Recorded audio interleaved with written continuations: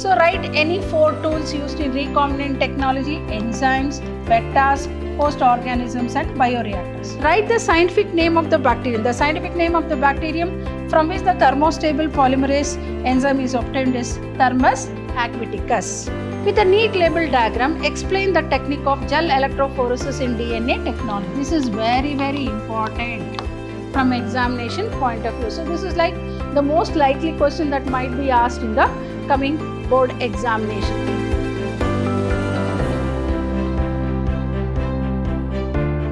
Hello everyone, welcome back to the revision class of chapter 9 of second PUC biology, biotechnology, principles and processes.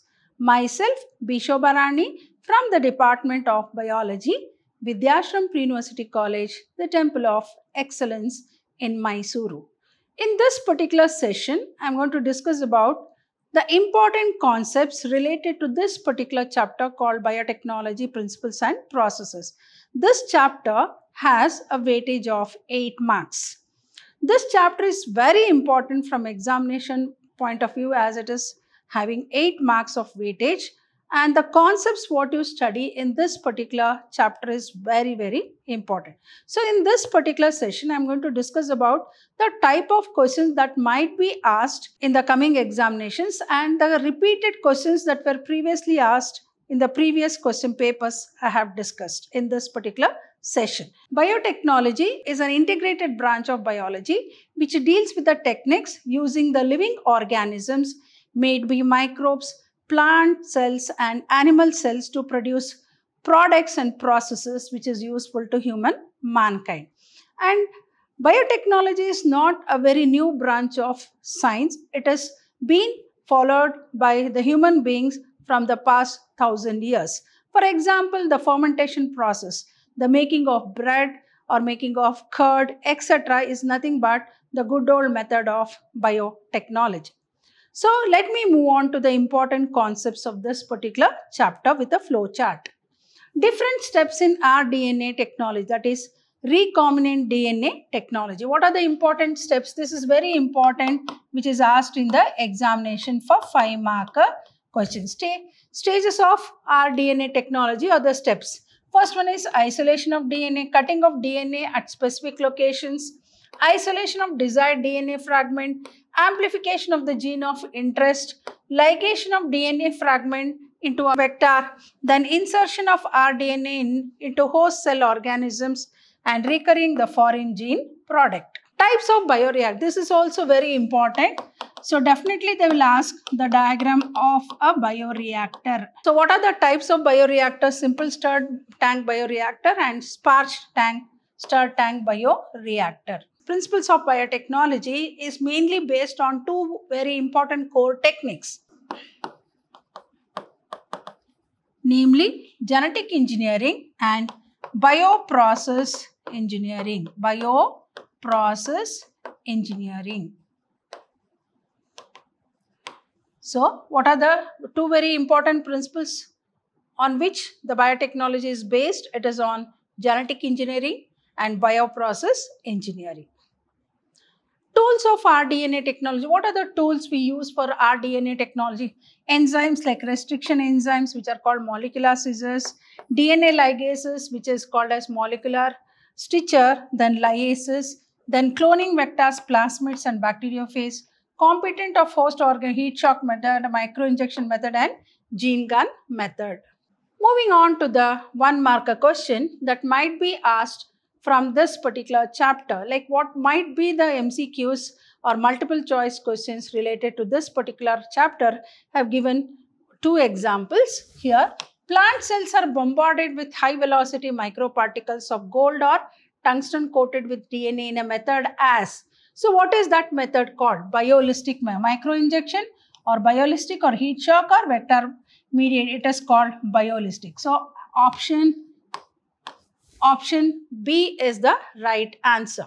Next, the commonly used vector for cloning genes in animals is, is it retrovirus or disarmed retrovirus or disarmed plasmid, Ti plasmid, Agrobacterium tumefaciens. So it is disarmed retrovirus that is option B is the right answer. Moving on to the question number three. Write any four tools used in rDNA technology. Mention any two methods of introducing alien DNA into host cells. Name the stain used to visualize DNA fragments in gel electrophoresis. So write any four tools used in recombinant technology, enzymes, vectors, host organisms and bioreactors. Mention any two methods of introducing alien DNA into host cell, microinjection method, biolistic method, gene gun or vector, but then heat shock method and disarmed pathogen vectors. Name the stain used to visualize DNA fragments in gel electrophoresis. It is ethidium bromide. Then question number four. What is the function of DNA ligase? Already I told it is one very important enzyme which is called as a molecular stitcher. Ligase is an enzyme which joins or combines the corresponding ends of the two DNA fragments. Next, what is plasmid? The circular DNA that is autonomously replicating circular extrachromosomal DNA present in bacteria. This is also important. Next, write the use of PCR that is polymerase chain reaction and write the scientific name of the bacterium from which the thermostable DNA polymerase enzyme is obtained. So what are the uses of PCR? Multiple copies of gene of interest is synthesized in vitro, used to detect HIV in suspected AIDS patient, used to detect mutations in genes in suspected cancer patients, and it is used to identify many genetic disorders. So all these are the very important uses of PCR, that is polymerase chain reaction. Then write the scientific name of the bacterium. The scientific name of the bacterium from which the thermostable polymerase enzyme is obtained is Thermus aquaticus. With a neat label diagram, explain the technique of gel electrophoresis in DNA technology. This is very, very important from examination point of view. So this is like the most likely question that might be asked in the coming board examination. This concept is very important from examination point of view. I'll go to the next slide. Here you can see the diagram. So uh, with a neat label diagram, explain the technique of gel electrophoresis. Let me explain the technique of gel electrophoresis in DNA technology. The cut fragments of DNA by the action of REN is done. Then are now separated and then isolated by agarose gel electrophoresis. Next, the agar is used to prepare the gel. So hence the name gel electrophoresis, which is extracted from brown algae. Then the stain used in the process is what? Ethidium bromide. Very, very important concept. Next, the DNA is loaded in the wells. Here you can see the wells. The DNA is loaded in the wells made on the agarose gel and the setup is connected to electricity. When the charge is passed, the negatively charged DNA fragments will move towards the anode on the other end of the agarose gel slab. Due to the difference in thickness and weight, the DNA fragments move at different pace based on charge and mass ratio. The DNA is now stained with what? Ethidium bromide and observed under the UV light. So here you can see the well, the largest and the smallest DNA bands here you can see, right? So what is elution? Cutting off fragments from gel and isolating DNA is called elution. This isolated DNA is further used for further processes of recombinant DNA technology. Next, give an account of the development of BT cotton, that is Bacillus thuringiensis cotton plant. Some strains of Bacillus thuringiensis have proteins that kill insects like coleopterans, that is the beetles, or lepidopterans, like it might be tobacco budworm or armyworm, and dipterans like flies and mosquitoes. Bacillus thuringiensis forms an insecticidal protein called Bt toxin crystal. So hence it is called cry protein. Crystal during a phase of their growth. It does not kill the bacillus as it exists as an inactive protoxins. But when an insect ingests the toxin, it becomes active due to alkaline pH of the gut which solubilize the crystals. Toxin binds to the surface of midgut epithelial cells creating pores. It causes cell swelling and lysis and death of the insect. So Bt toxin genes were isolated from Bacillus thuringiensis and incorporated into crop plants such as, such as cotton which is a very important commercial crop. So most Bt toxins are insect group specific. They are coded by CRY genes. Example, proteins encoded by CRY1AC, CRY2AB genes control cotton bollworms, and protein of Cry1AB gene controls corn borer. So these are the very, very important concept from examination point of view. Next, what is a plasmid? I already explained. Plasmid is an extra nuclear or extra chromosomal self-replicating double-stranded circular DNA of bacteria. Mention any two methods of introducing alien DNA into those already I told, heat shock treatment, microinjection method or ballistic or armed disarmed pathogen vectors. Next, name the process by which a desired gene amplification can be done. Explain the process. So it is very important as gene amplification is done by polymerase chain reaction. So what does PCR stand for? Polymerase chain reaction. Steps involved in PCR technique, it involves three processes like what? Denaturation, annealing, which is also called as uh, re renaturation, extension, or it can also be called as elongation. So denaturation, it involves heating of reaction tube containing target DNA to 94 degrees centigrade for one minute. This temperature denatures and separates two strands of DNA. Then annealing of primers, already I told is also called as renaturation. This reaction mixture is cooled slowly to 55 degrees centigrade for 1.5 minutes. Then the two primers pair with complementary base sequences present in ends of separated DNA strands. Next step is extension of primers which is also called as what? Elongation. The temperature of the reaction mixture is increased to 72 degrees centigrade for 1 minute. This temperature is suitable for the activity of DNA polymerase. It adds complementary deoxyribonucleotides 1 by 1 to hydroxyl 3 hydroxyl ends of primers. As a result, new DNA strand is synthesized over target or template strand. This is also, I told you, very important. Polymerase chain reaction and the steps involved in the polymerase chain reaction is very important. It is like most probable question that might be asked in the board examination. Next, differentiate between endonucleases and exonucleases. These are nucleases, enzymes. These are a type of nucleases called endonucleases and exonucleases. Then diagrammatically represent recombinant DNA technology. So exonucleases removes the nucleotide. So what are exo? the very word itself will tell exo removes the nucleotides from the ends of DNA and endonucleases cut the DNA at specific positions anywhere in its length. Diagrammatically represent recombinant DNA technology. I think you can see this picture, diagrammatic representation of rDNA technology. So here you can see the vector that is DNA plasmid is introduced. Here it is the same restriction enzyme cutting both foreign DNA and vector DNA at specific find. And ligases as you know it is used to join foreign DNA into the plasmid. Then there is a very important process called transformation where you can see the cells divide. So this is a very important diagram from examination point of view.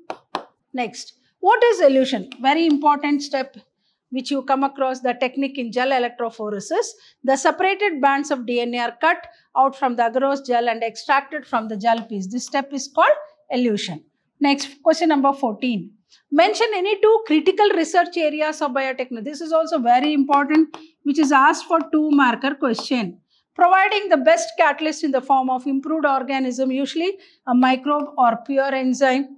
Creating optimal conditions through engineering for a catalyst to act downstreaming processing technologies to purify the protein organic compound. So these are the three we have given. Any two you can write. Mention any two critical research areas of biotechnology. Question number 15. It's a split question. Explain the process of denaturation, annealing and extension with respect to polymerase chain reaction. Already I explained in the previous slide. Define plasmid also I have explained. Why restriction enzyme is called molecular scissor. So uh, the processes like denaturation, annealing and extension. Here denaturation means what? It involves uh, heating of re uh, reaction tube containing target DNA to 94 degrees centigrade for 1.5 minutes and this temperature denatures and separates the two strands of DNA. What is annealing which is also called as renaturation? This reaction mixture is cooled slowly to 55 degrees centigrade for 1.5 minutes and the two primers pair with complementary base sequences present in the ends of separated DNA strand. Next, extension of primer which is also called elongation. The temperature of the reaction mixture is increased to how much? 72 degrees centigrade for 1 minute. This temperature, why, why this temperature is taken? That it, because it is suitable for the activity of DNA polymerase. It adds complementary deoxyribonucleotide one by one to the 3 hydroxyl ends of primers. As a result, new DNA strand is synthesized over target or template strand. What is plasmid already I told? It's an extra nuclear or extra chromosomal self-replicating double-stranded circular DNA of a bacteria. Why restriction enzyme? Restriction endonucleases are called as molecular scissor because they are called as molecular scissors since they are used to cut DNA precisely. Next, name the plasmid present in Agrobacterium tumefaciens that is TI plasmid. Then with an example explain the convention for naming restriction endonucleases scientifically that is EcoRI where the first letter of the name comes from the genus first letter the, and the second two letters from the species and the letter R indicates the strain and Roman letter indicate the order in which the enzymes were isolated. This is also important. Next, name the stain used to visualize DNA fragments in gel electrophorethidium bromide. Question number 19. Mention two methods of introducing alien DNA. So, the already I explained in the previous slides. Recombinant DNA in the bacterial cells are incubated in ice followed by placing them briefly at 42 degrees centigrade which is called as heat shock method and then putting them back in ice and by micro injection introducing the recombinant DNA is directly injected into the nucleus of the animal cell. Then the plant cells are bombarded. What do you call that method? It is called as what? Biolistic or gene gun method. Disarmed pathogen ectars which when allowed infecting the cell transfer the recombinant DNA into the host. Then question number 20. Write any four tools that are used in rDNA technology already explained restriction enzymes, polymerase enzymes, ligases, vectors and host organisms. Then write the restriction site of EcoRI enzyme that is 5-GAA-TTC 3- or 3-CTTAAG. Next, draw neat label diagram of PBR 322 that is plasmid of Bolivar and Roderick strain number 322. This diagram is very very important. So you need to learn this diagram which is one of the very important diagram from this particular chapter called biotechnology principles and processes.